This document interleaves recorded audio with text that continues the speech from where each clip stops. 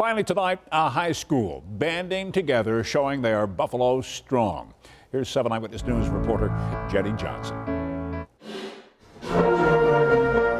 If you're from the village of Fredonia, this song may sound familiar to you. But the layout in which you're seeing it, well, that may be new.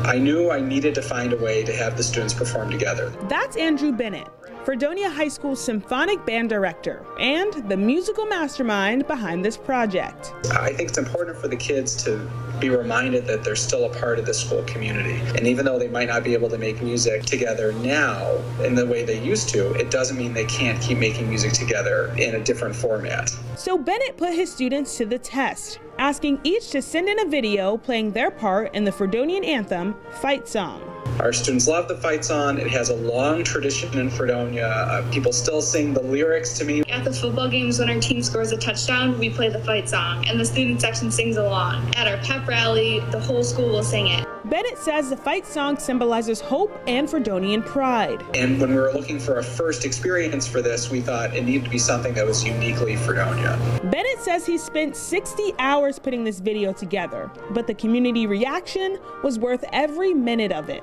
I have gotten over 100 emails from families saying thank you and oh, this brought us so much joy. And the students who participated in the video say it felt good to be together again even if it was virtually.